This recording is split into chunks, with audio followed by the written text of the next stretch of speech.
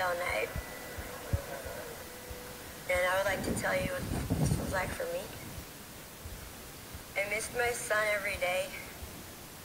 And I wondered if I was ever going to see him again. I cried every night.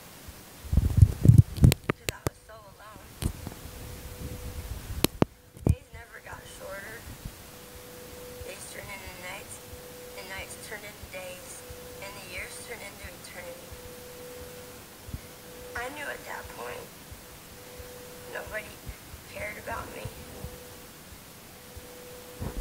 Ariel Castro.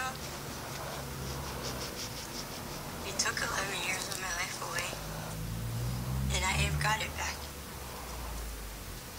11 years in hell, and now your hell is just beginning. The death penalty would be so much easier. You don't deserve that. You deserve to spend a life in prison.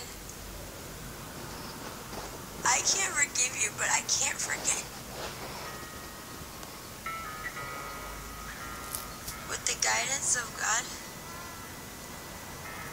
I will prevail and help others that suffer at the hands of others. Writing this statement gave me the strength to be a stronger woman. And I know there is more good than there is evil.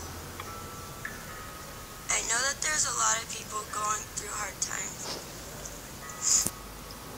But we need to reach out a hand and hold them and let them know that they're being heard. After 11 years, I'm finally being heard. And it's liberating. Thank you all. I love you.